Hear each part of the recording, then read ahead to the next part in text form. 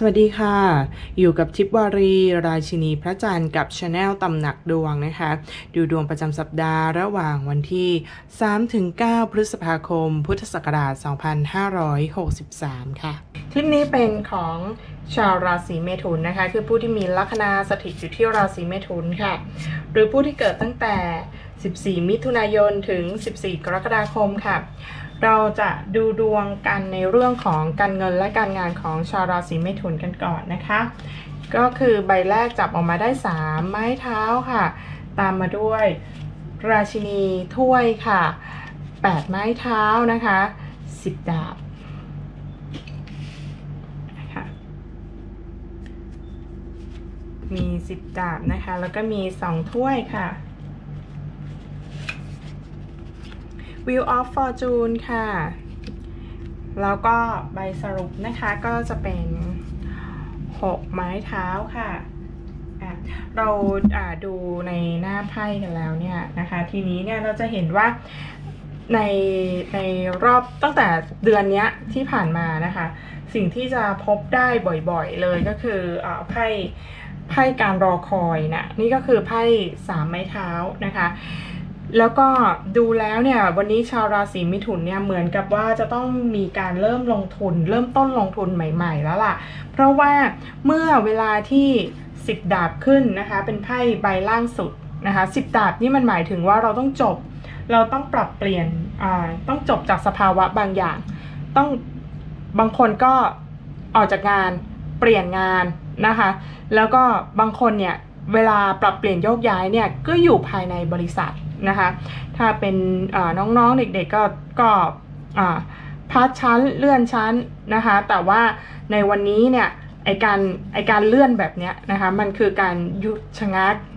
การรอคอยนะคะมันเหมือนกับเรื่องของการฟื้นฟูความบาดเจ็บก่อน มันเป็นช่วงเวลาของการฟื้นฟูความบาดเจ็บ เพราะฉะนั้นเราจึงเห็นได้ว่าในรอบสัปดาห์นี้ไพ่เงินไพ่ทองมันจึงไม่ได้ขึ้นมากนะ นะคะไม่ไม่ได้ขึ้นเลยนะไพ่เหรียญไม่มีขึ้นเลยนะคะกับดวงชะตาของชาวราศีมิถุนนะคะไม่มีเหรียญไม่ได้แปลว่าคุณไม่มีเงินนะคะ เพราะว่าสิ่งดีๆเนี่ยมันกำลังจะเกิดขึ้นวันว่าเมื่อไพ่สิบดาบเนี่ยมันอยู่ล่างสุดเนี่ยมันหมายถึงว่ากำลังจะเป็นช่วงเวลาของการหมดทุกข์หมดโศกนะคือช่วงเวลาบาดเจ็บ เนี่ยมันผ่านไปแล้วนะคะสิบดาบนี้นะยังหมายถึงการจบสิ้นเนี่ยเขาจบสิ้นชีวิตหนึ่งไปนะคะแล้วก็มองออกไปไกลๆเนี่ยท้องฟ้ามันกำลังมีความสว่างไล่ความมืดมิด แสดงว่าจุดที่ต่ำสุด จุดที่แย่ที่สุดอะ่ะกำลังเริ่มจะผ่านพ้นไปแล้ว สถานการณ์ที่แย่ที่สุด ซึ่งถ้าในขณะนี้อ้นก็ตีเป็นเรื่องของสถานการณ์โรคระบาดนั่นแหละ ว่าที่มันร้ายแรงที่สุดที่มันพีคที่สุดอะมันผ่านพ้นไปแล้วนะคะ นั่นก็หมายถึงเรื่องของการงานของคุณด้วย ซึ่งพอเวลามันผ่านพ้นไปนะคะ ช่วงเวลาเคอร์ฟิวมันผ่านพ้นไป เดี๋ยวมันก็จะเริ่มได้ขยับขยาย วันนี้คุณก็เลยรอคอยไงที่จะรอคอยที่จะขับเคลื่อนไปนะคะ แล้วก็พร้อมมากแล้วด้วยนะคะ แปดไม้เท้านะคะ บอกว่างานที่คุณทำเอาไว้อยู่แต่เดิมแล้วแหละทำต่อได้ดีมากนะคะทำต่อได้ดีดีขึ้นเรื่อย ๆ เลย แล้วก็มันมี 2 ถ้วยขึ้นอยู่ตรงนี้นะคะ 2 ถ้วยมันขึ้นกับ View of Fortune ข้างล่างมี 8 ไม้เท้านะ มีราชินีถ้วย คือทั้งหมดเนี่ยไพ่ไพ่สถานการณ์โดยรอบมันดีไพ่บุคคลโดยรอบที่รอบร้อมคุณอยู่มันดีนะคะ เพราะฉะนั้น สิ่งที่ย่ำแย่มันกำลังจะหมด มันกำลังจะจากไปในเวลานี้นะคะะเขาเรียกว่าถ้าหากว่าจะต้องใช้ความอดทน เป็นความอดทนเฮือกสุดท้าย อีกแป๊บเดียวเท่านั้นนะคะก็จะมีเรื่องราวดีๆเกิดขึ้นแล้วนะคะ ก็พร้อมที่จะขับเคลื่อนไปแล้ว ให้รีบ สิ่งที่ต้องทำนะคะ สิ่งที่ต้องทำก็คือให้รีบติดต่อกับลูกค้าเก่าๆนะคอนเน็ชันความสัมพันธ์อะไรแต่หนหลัง คนที่ดีลงานกันมา คุยงานกันมาคุยต่อได้เลยค่ะ คุยต่อได้เลยขับเคลื่อนได้เลยนะ View of Fortune ก็คือเรื่องเก่าๆ คนเก่าๆ งานเดิมๆนะที่ทำไว้ดีอยู่แล้ว เดี๋ยวมันจะค่อยๆส่งผลงอกเงยนะคะ ใครที่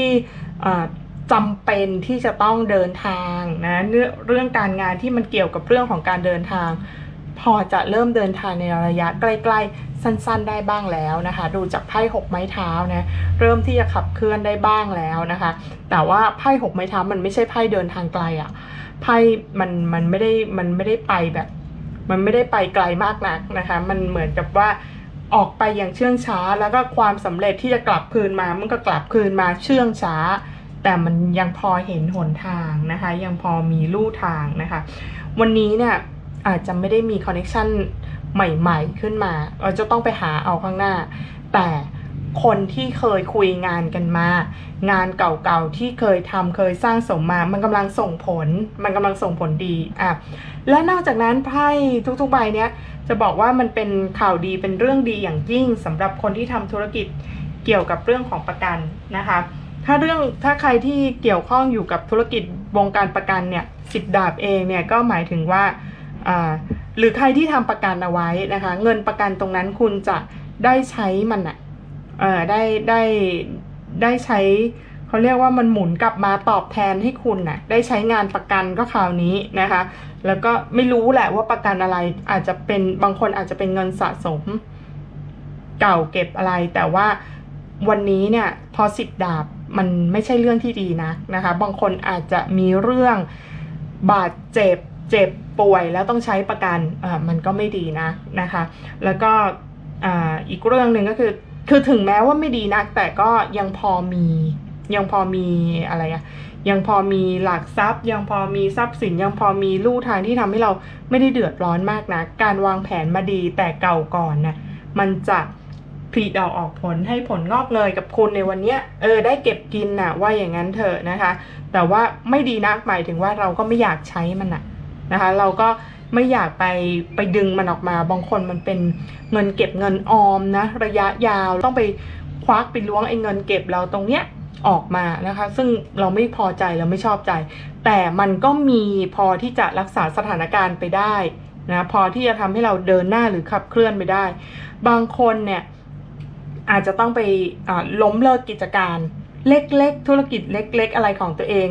เลิกไปเลย แล้วก็แต่อ้นว่าเลิกไปเลยเนี่ยมันดีนะ มันก็ถ้าถ้ามันเสียหายมาก ถ้ามันลงทุนมาก ถ้ามันบาดเจ็บมากเลิกไปเลย คุณจะฟื้นได้ คุณจะฟื้นเร็วและฟื้นทัน แต่ถ้าเกิดว่ามันเป็นธุรกิจต่อแตะเล็กๆ ที่กำลังจะเริ่มต้นนะคะแล้วแล้วช่วงสถานการณ์เนี้ยมันจำเป็นต้องเลิกอาจจะมีหน้าร้านอะไรบางอย่างอยู่แล้ว ตัดสินใจว่ามันไปไม่ไหวละ มันไม่รอดละ มันจะเป็นต้องเลิกนะคะ เลิกไปเนี่ยถ้าเล็กถ้าขนาดเล็กธุรกิจขนาดเล็กยังพอที่จะเลิกไปแล้วรอเวลาเพื่อที่จะกลับคืนเข้าไปสู่ถิ่นเก่าๆทำเลเก่าๆร้านค้าเก่าๆแล้วไปทำงานต่อได้นะคะก็เลิกชั่วคราวเท่านั้น แต่ถ้าเกิดว่ามันความเสียหายใหญ่เป็นอุตสาหกรรมเป็นอะไรเลยอ้นว่า มันมันบาดเจ็บมากเกินไป เพราะฉะนั้นเราต้องไปอุดความเสียหายมันอะต้องไปยับยั้ง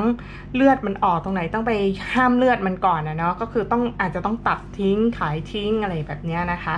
อะทีนี้เดี๋ยวมาดูเรื่องของความรักนะว่า ชาวราศีมิถุนนี่มีดวงเป็นยังไงบ้างเอ่อ Wheel of Fortune ขึ้นเนี่ยในเรื่องการเงินการงานเนี่ย หลายคนอะพอ Wheel of Fortune ขึ้นเขาเสี่ยงโชคเสี่ยงดวง แต่ว่าอ้นดูจาก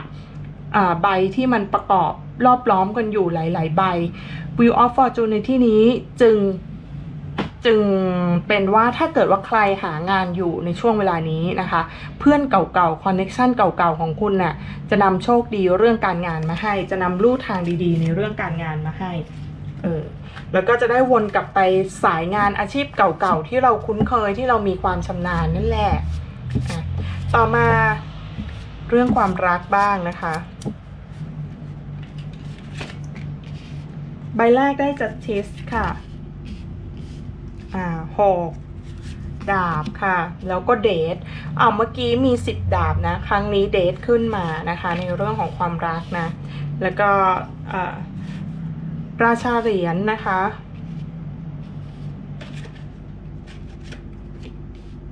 หกเหรียญนนะคะสิบถ้วยค่ะ แล้วก็จบลงด้วย judgment นะคะ ดูหน้าไพ่มันมันจะมีไพ่บางตัวที่ความหมายมันจะค่อนข้างคล้ายกันนะคะ อย่างเช่น อย่างเช่นเดทตัวเนี้ย มันก็จะคล้ายกับ10เหรียญในในสำรับที่แล้วนะ judgment ตัวนี้มันก็จะไปคล้ายกับไอตัว view of fortune นะมันเป็นเรื่องแบบโชคชะตากำหนดอะไรแบบเนี้ย ทีนี้วันนี้นะ ถ้าพูดถึงเรื่องของความรักเนี่ยอ่า justice กับ judgment เนี่ย พอเวลาขึ้นคู่กันทีไร มีเรื่องให้ตัดสินใจ และการตัดสินใจเนี้ย มันจะเป็นจุดเปลี่ยนครั้งสำคัญ มันเป็นไพ่ใบใหญ่นะสามใบเนี้ย ใหญ่กว่าไอ้สิบสิบสิบดาบเมื่อตะกี้อีกนะคะ date justice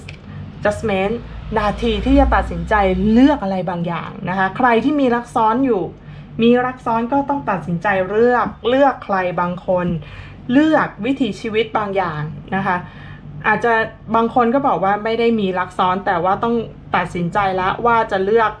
ว่าจะเลือกโสดนะคะว่าจะเลือกโสดหรือว่าจะคบกันไปต่อดีอ่าก็ต้องตัดสินใจเลือกอย่างใดอย่างหนึ่ง แล้วพอเวลา justice judgment ขึ้นร่วมกันเนี่ย กำลังเป็นช่วงเวลาที่ลังเลอยู่ว่าตกลงจะเลือกซ้ายเลือกขวาดีนะอ้นแนะนำอย่างนี้ค่ะว่าอ่าเอาเราเรามักจะประเมินอะไรในอนาคตเนี่ย อาจจะไม่ได้แม่นยำนักหรอก แต่เราก็เราก็ประเมินจากวันนี้นะวันนี้ ถ้าวันนี้มันมีสัญญาณอะไรบางอย่าง ส่งมาให้คุณ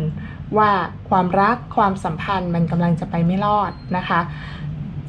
ทางแก้นะคะ ทางแก้ในวันนี้เนี่ยหมายถึงว่าสัญญาอะไรไว้พูดอะไรไว้นะคะ ให้ลองทำให้เต็มที่ทำอย่างที่พูดนะคะ ใช้ชีวิตเหมือนกับว่า วันนี้เป็นวันสุดท้ายแล้วที่จะได้อยู่คู่กันนะเพราะวันพรุ่งนี้วันต่อต่อไปเนี่ยอาจจะเลิกกันแล้วอาจจะไม่มีกันแล้วนะคะ เพราะฉะนั้น เวลาที่เราขับเคลื่อนไปด้วยสิ่งดีๆเนี่ยเดี๋ยวสถานการณ์มันจะคลี่คลายเองนะคะ มีการให้อภัยกันนะคะ การให้อภัยแต่ว่าต้องจดจำเรื่องที่ผิดพลาดนะ เพราะว่าไอ้ความผิดพลาดมาเนี่ยมันมันเป็นเรื่องที่จะทำให้เราแบบเดินต่อไปได้ด้วยดีนะคะสิบถ้วยนะคะบอกว่ามีแนวโน้มสูงเลยที่ว่าจะกลับไปคืนดีกันนะคะ อาจจะได้เลิกนิสัยไม่ดี อาจจะได้เลิกนิสัยแย่ๆบางอย่างนะคะ ที่เคยทำร้ายกัน แล้วก็มีแนวโน้มว่าจะกลับไปพูดคุยคืนดีกัน แล้วก็มีชีวิตสงบสุขนะคะสิบถ้วยคือความสุขในครอบครัวนะคะ แล้วก็สองตัวเนี้ยไพ่สองใบเนี้ยเป็นไพ่ที่บอกว่าอย่างน้อยๆเนี่ยให้คุณทำให้เต็มที่โดยการแสดงออกให้เห็น แน่นอนแหละความรักอะ่ะมันไม่ใช่มัน อ่ามันซื้อขายกันไม่ได้ด้วยเงิน แต่ณนาทีเนี้ยณนาทีที่ฝ่ายใดฝ่ายหนึ่งกำลังลำบากอยู่เนี่ย เงินเป็นเป็นตัวแสดงน้ำจิตน้ำใจที่ดีนะคะ แล้วก็ความช่วยเหลือที่มันเป็นรูปธรรม เออ จะพูดอย่างนี้มันมันไม่ได้สำคัญที่สุดก็จริง แต่มันสำคัญมาก ๆ นะคะ เพราะเพราะฉะนั้นวันนี้อ้นก็พูดตามไพ่นะว่า มันเป็นมันเป็นตัวแสดงอะเราจะพูดว่ารักปากเปล่า ไปเฉยๆเรื่อยๆเนี่ยมันมันไม่ได้ วันนี้ต้องการการกระทำที่มันเป็นรูปธรรมชัดเจนจัตทิสบอกว่ามันต้องเป็นเรื่องของตรรกกะเป็นเหตุเป็นผล และเป็นรูปธรรมชัดเจนจับต้องได้นะคะจัตทิสนะแต่ judgment เนี่ยเป็นเรื่องของความรู้สึกเป็นเรื่องของเทวดาดนจิตดนใจ แล้วอีกเรื่องหนึ่งก็คือ การถ้าอยากจะไปต่อด้วยกันการร่วมบุญด้วยกันเป็นเรื่องที่ดีมากนะคะถ้าถ้าใครที่ มีเรื่องยืดเยื้อเรื้อรังกันมานานมากแล้ว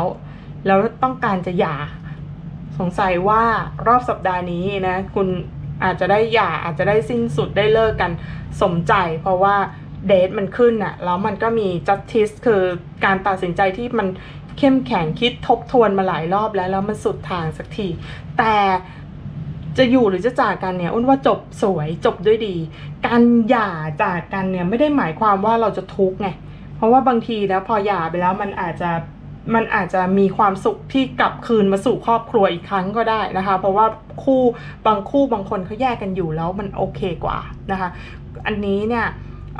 อ้นตอบแทนชีวิตของแต่ละคนน่ะไม่ได้นะคะ ไปตัดสินแทนชีวิตแต่ละคนไม่ได้ก็ค่อยๆ ทบทวนกันดีๆ แล้วกันนะคะ ก็ไม่ว่าจะเป็นอย่างไรเนี่ยความรับผิดชอบยังอยู่นะความรับผิดชอบต่อ ต่อครอบครัวเนี่ยนะคะเราจะเห็นได้ว่า 6 ดาบเนี่ยมันเป็นคนที่กำลังยังไงก็ต้องพายเรือไปส่งอะนะคะคนแจวเรือจ้างนะคะยังไงก็ต้องพายเรือไปส่งเขาให้ถึงฝั่งด้วยนะคะก็จะได้จากกันด้วยดีนะถ้ามีเรื่องยืดเยื้อเรื้อรังมานะคะแต่ว่าเป็นบางคนน่ะอาจจะรู้สึกว่าเฮ้ยต้องตัดสินแล้วว่าจะแต่งงานแล้วมันต้องใช้เงิน แบบนี้ก็เป็นไปได้นะ คือสิ้นสุดสถานะโสดนะคะ อ่ามันมันตีได้แบบหลายแง่อยู่ แต่ว่าแนวโน้มทางทางการเลิกลาอย่าล้างการจากกันพลากแตกแยกมันมีสูงกว่าด้วยพลังงานของไพ่เดทนะคะ แล้วก็ไพ่ judgment ด้วย judgment มันก็แบบการตัดสินใจที่แน่ชัดแล้วว่าจะเป็นไปตามเวรตามกรรม หมดบุญหมดวาสนากันมันจะเป็น judgment ขึ้นนะคะ อ้าวหมดแล้วนะคะนี่ก็คือเรื่องความรักความสัมพันธ์ ถ้าหากว่าชื่นชอบถูกใจอ้นฝากไว้ด้วยนะคะ กับ channel ตำหนักดวงนะคะ แล้วก็ฝากติดตามเพจค่ะ ทิพวารีราชินีพระจันทร์ต่อมานะคะก็จะมีไลน์นะคะมาพูดคุยกันได้หรือว่าดูดวงส่วนตัวนะคะ แอดไลน์มาที่ ID Line Enmy Beauty E W M Y B E A U T Y นะคะ มีค่าครูเล็กน้อยก็สอบถามได้ที่นั่นเช่นเดียวกัน คลิปนี้ลาไปก่อน โชคดี สวัสดีค่ะ